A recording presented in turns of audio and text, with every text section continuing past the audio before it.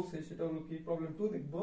Problem two বলতেছে আমাদের dy by dx equal to e to the power x minus y plus x square inverse y okay এর general solution আমাদের বের করতে হবে। অবশ্যই এটা কি first order first degree differential equation এবং আমরা কি করব? সেপারেশন মেথডের মাধ্যমে বের করব।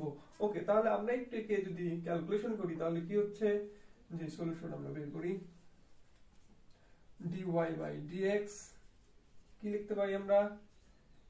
e to the power x into e inverse y plus x square e inverse y যেহেতু আমরা সেপারেট করব সবগুলোকে, সেহেতু আমরা লিখতে পারি, কি লেখা যায়? e to the power x e to the power y plus x square e to the power y okay তাহলে আমরা এটাকে লিখতে পারি এভাবে e to the power y, একবারে কমন নিয়ে এটা গুণ করে দিলাম। Dy এবং এখানে লিখতে পারি e to the power x plus x square into dx okay এরপর আমাদের কাজ কি? সেম প্রসেস ইন্টিগ্রেট করা। এবার ইন্টিগ্রেট করলে আমরা পাবো কি? e to the power y equal to e to the power x plus x cube ভাগ 3 প্লাস c ওকে এটাই আমাদের অ্যান্সার ওকে খুবই সোজা এরপরে আমরা কি দেখব? আরেকটি ম্যাথ দেখব। এই পাশে আমরা আরেকটি ম্যাথ করব। এটা আমাদের কি বলছে? ম্যাথ বলছে হলো ম্যাথ নাম্বার থ্রি আর কি। এটা আমাদের বলছে sec square x, sec square x tan y dx equal to sorry plus বলতেছে plus sec square sec square y, tan x dy equal to zero okay তাহলে আমাদের যে কাজটা করতে হবে, সে কাজটা হলো কি? যে আমরা সলিউশন বের করব। আচ্ছা এটা ম্যাটটা দেখে আমরা আবার ঘাবড়ে যাওয়ার কোনো কারণ নেই, কারণ এখানে dy বাই dx কিন্তু মানে এক কথা ভেঙে দিছে। dy বাই dx, এবার সে নিয়ে আবার dy বাই dx কিন্তু এই আকারে লেখা দেয়। এটা কিন্তু first order first degree differential equation এনে ঘাবড়ানোর কিছু কারণ নাই। এইটা যদি আমরা এই পাশে নিয়ে আসি এবং dy কে এই পাশে ভাগ দেই এবং sec স্কয়ার x এবং tan y কে ওই পাশে নিয়ে গেলে dy এবং dx কিন্তু আসবে। ওই অর্থাৎ কোএফিসিয়েন্টটা কিন্তু আসবে। অর্থাৎ ফার্স্ট অর্ডার এবং ফার্স্ট ডিগ্রি কোএফিসিয়েন্টটা কিন্তু আবার তৈরি হবে। ওকে তাহলে আমরা এই মানে আমাদের ম্যাথটা আসলে প্রসেসটা আরও সোজা করে দিয়েছে। এক ধাপ আগেই দিয়েছে। একদম একসাথে করে দিয়েছে। আমরা খালি জাস্ট এখন সেপারেট করব সবগুলোকে। সেপারেট করতে হলে আমাদের যে কাজটা করতে হবে সেটা হলো sec square x tan y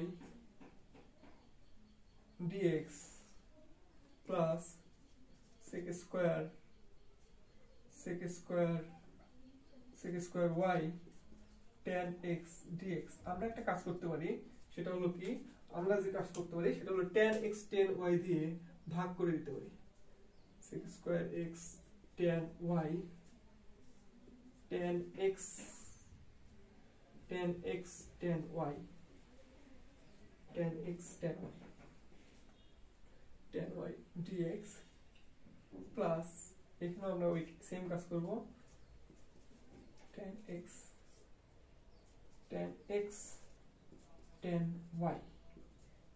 তাহলে কি হচ্ছে?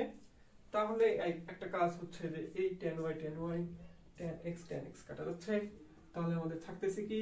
sec square x, tan x dx sec square y tan y, dy sorry এখানে dy ছিল ইকুয়াল টু জিরো এখন আমাদের কিছুই নাই আর, এখন আমাদের ছোট বাচ্চার কাজ, সেটা হলো কি, যে ইন্টিগ্রেট করা এবং এই ইন্টিগ্রেট আমরা খুবই ছোট সময় জেনে আসছি, সেটা হলো tan x উপরে sec স্কয়ার এবং নিচে tan x থাকলে এখানে হবে ln tan x এবং এর হবে ln tan y, ln tan y equal to আমরা এখানে লিখে দিতে পারি যে ln c ওকে ln c c লিখলেও হবে, ln লিখলাম আমরা কেন?